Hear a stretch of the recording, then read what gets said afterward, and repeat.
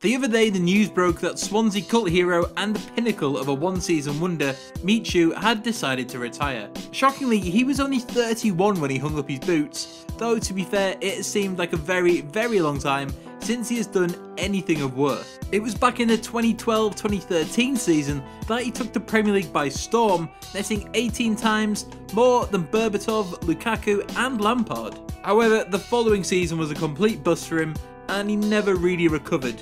And that's got us thinking on who are the other great one season wonders in the Premier League. So here are 9 one season wonders. 1. Marcus Stewart. An absolute Champman 0102 legend, Stewart was outstanding in the 2000-2001 season for Ipswich. He banged in 19 goals for the Tractor Boys, but sadly that was it for him. He only managed to score 8 more times in his entire Ipswich career before moving to Sunderland. His final season with the Black Cats was a pretty decent one, but he never managed to replicate the form that he showed in that first season with Ipswich. Number 2, Andy Johnson. In the 03-04 season, Johnson was on fire in the Championship, scoring 27 times.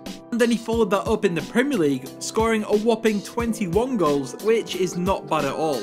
Granted, 11 of those were penalties, but they all count. In fact, he finished only second to Thierry Henry in the Premier League top scoring charts. However, Palace were relegated, and the next time he was in the Premier League, he only scored 11 times, and that was his highest goal tally in the following 8 seasons after that. Number 3, Benjani. The Zimbabwean hitman somehow managed to get himself a move to Man City, though that was before they got the mega millions. After two pretty naff seasons with Portsmouth, it was his third season that got him the move to the Etihad after he netted 12 times from just 23 games. Apparently the move was worth around 8 million, which is just insanity, and especially when you consider that he scored just 4 goals from 23 games across 3 seasons. Number 4, Mikael Forssell. Chelsea always seemed like they were looking for Forssell to do something amazing and earn his place in the first team. And maybe he could have had that if it wasn't for all of that lovely Russian money that brought in the likes of Hernan Crespo and Adrian Mutu. Anyway, he got sent on loan to Birmingham where he scored 19 times from 37 games, which was pretty decent. However, after that, it took him over 3 seasons to score 13 goals in the Premier League, and things just didn't work out for the Finnish striker. Number 5, Carlo Cudicini. Cudicini never really stopped being a decent keeper, but his career never reached the same heights as it did in the 2002-2003 season. He only conceded 35 goals, won the Premier League Golden Glove Award, and kept 12 clean sheets. Unfortunately for the Italian, he got injured not shortly after that, and then was dropped once Petr Cech had arrived at the bridge, and he never got his first team spot back. Number 6, Amr Zaki. A one season wonder, maybe a bit kind to Zaki because, well, he was more of a half season wonder. After moving to Wigan and being dubbed the Egyptian Alan Shearer by Dave Whelan, he started the season in amazing form. At one point he had 5 goals from 6 games and was behind only Anelka and Robinho in the scoring charts.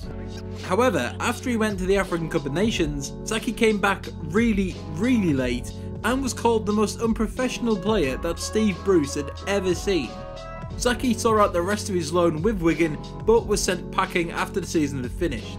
And then after that, he scored twice in five years for seven different clubs before retiring. Number 7, Asier Del Horno. Secretly, Del Horno was actually a terrible left back, but he somehow got an £8 million move to Chelsea and was one of their most used players during their second Premier League title win. However, in between all the trophies and almost killing Lionel Messi, Jose Mourinho realised that Del Horno was actually pretty crap, so moved him on after just one season. Number 8, Dimitri Payet. Attitude was seemingly the problem with Payet during his time at West Ham. However, in his first season, he was incredible and a true free kick master. He scored 9 times, picked up 11 assists, and created over 110 chances for his West Ham teammates. However, after the Euros, Payet had had enough and hated doing defensive work. He then went back to West Ham, scored just twice, though picked up 6 assists, but was nowhere near as good as he was the season before. He seemingly kicked up a right old fuss to get himself a move away from West Ham so he could go somewhere and just dribble the ball around and not really do anything else but that. And number 9, Habib Beye. The absolute definition of a one season wonder here. He was outstanding for the Magpies in his first season, helping them finish in 12th place. In fact, he was so good that he was named the fans player of the season and became a bit of a cult hero. Fast forward 12 months, Newcastle had been relegated, Beye had had a stinker of a season and had to join Aston Villa basically as punishment because that's how bad he was. And he never really recovered from that excellent debut season at Newcastle, so God only knows what he's up to these days. And that's our list. Who do you think will be the next one season wonder? Let us know in the comments and be sure to hit that notification button to join the Footy Feed squad. Like this video if you liked it and hit that subscribe button if you haven't already. Thanks for watching and we'll catch you next time.